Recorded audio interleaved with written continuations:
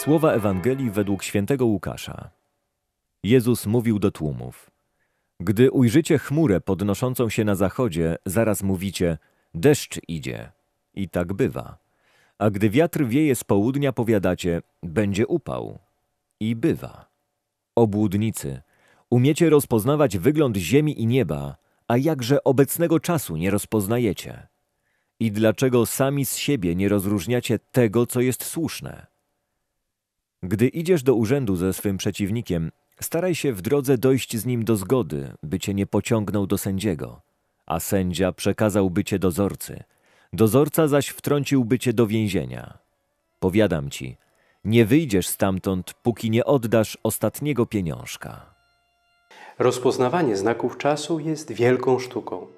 Ostatnie dziesięciolecia pokazują nam, jak ludzki intelekt potrafi w krótkim czasie dokonać ogromnego skoku technologicznego.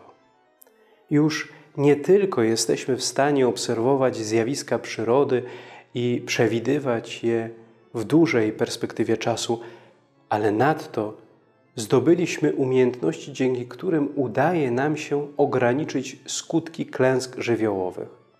Na co dzień posługujemy się skomplikowanymi maszynami i wydajnymi komputerami. Zdobywamy przestrzeń kosmiczną i zaglądamy w głąb cząsteczek wewnątrzatomowych. Świat stał się już od dawna globalną wioską, a pomimo to na tej planecie żyje coraz więcej samotnych ludzi. Co powiedziałby do nas dziś Jezus? Czy nauczyliśmy się już rozpoznawać znaki czasu? Czy w dniu, w którym powtórnie przyjdzie na ziemię, rozpoznamy Jego pośród nas? Czy może będziemy zajęci odkrywaniem nowych właściwości polimerów i ogłaszaniem nowych, niezwykłych patentów? Zabiegani szukamy życia, a życie ucieka nam przez palce. Tęsknimy za miłością, a nie mamy czasu, żeby kochać. Uczymy się wielu przydatnych rzeczy, które okazują się zupełnie nieprzydatne.